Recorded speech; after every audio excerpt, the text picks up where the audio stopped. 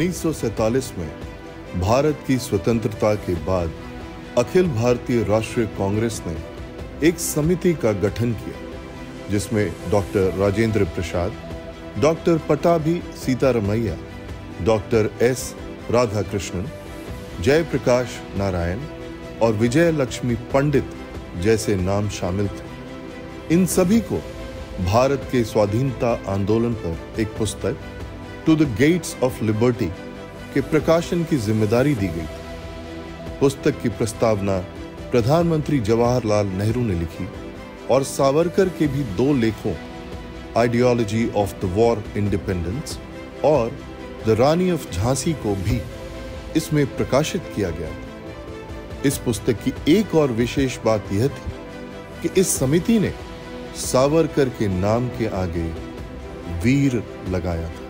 Thank you.